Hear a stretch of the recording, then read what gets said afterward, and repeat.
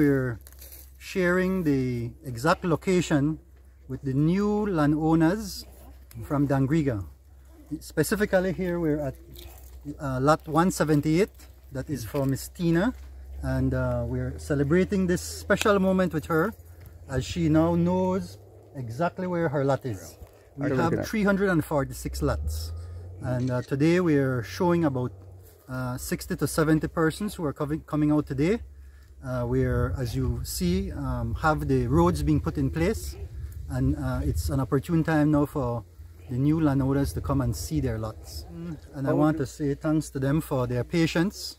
Mm. Uh, it's been about two, two and a half years of waiting as we've been working to do the initial surveys. Well, in the first instance, find the area that, that's available, doing the surveys, working through the system at the Ministry of Natural Resources, being able then to identify specifically lots with the names of the applicants who applied, as I said, about two and a half years ago. So this is a very exciting time. This is a, a good time of the year when we have dry weather to be able to put in the roads.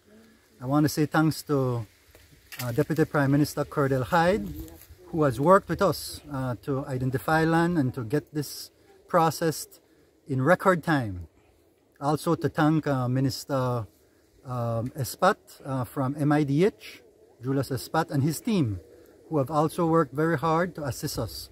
Of course, we want to thank Prime Minister John Briceño who has created the Constituency Development Fund that we have been able to use to make uh, progress in these areas.